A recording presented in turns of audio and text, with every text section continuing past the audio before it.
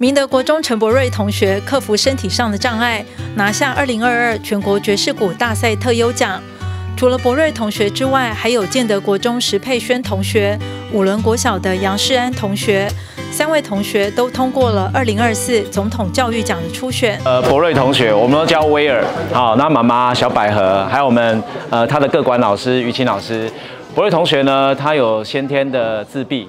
然后他有一点点辛苦哈，可是我觉得他上了国中之后不断的进步，他克服自己的一个先天的限制，他在学校人缘很好，呃，音乐、体育都有一些专长。那我记得印象最深刻的是去年我们在全校的才艺大赛表演上，他一个人打鼓，全场为之疯狂跟轰动。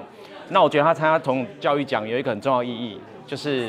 我们虽然有点特殊，可是我们跟大家都一样，我们一样在身边，一样快乐的学习生活啊！我觉得他对很多同学来讲也是一个很棒的一个激励。嗯，对于佩轩学这个射箭，嗯，那时候其实我觉得是有一点点意外，嗯，因为我觉得那嗯那时候他小时候他对运动其实没有很很热热忱就对了。那在四年，就是因为中华国小他是推射箭的学校，那老师看他可能就是他的。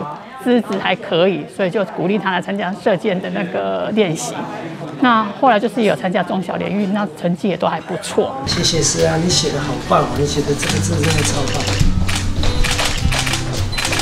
市长谢国良特别接见，颁发一万元奖助学金，感佩他们克服逆境、努力向上的学习精神。身处逆境却不被困难打倒，认真才会自己的人生，非常值得我们学习。那我们今天也非常荣幸啊，能够颁发通过总统教育奖初审的同学啊一定的奖助学金。希望我们的同学不怕艰难，勇敢的迈向精彩的生命旅程。那也期待后续的复选都能够顺利获奖。不管怎么样，都是人生中很宝贵的回忆。现场也邀请到荣获二零一八年总统教育奖的得主，就读暖暖高中的林依依同学。日前透过繁星推荐录取中原大学应用华语文学系，他特别以学姐的身份鼓励三位学弟妹不畏惧挑战。市长谢国良也颁发奖助学金，鼓励依依同学持续学习的热忱。市长谢国良说：“相当感佩同学们处于逆境中，仍然奋发向上、乐观进取，值得大家来学习。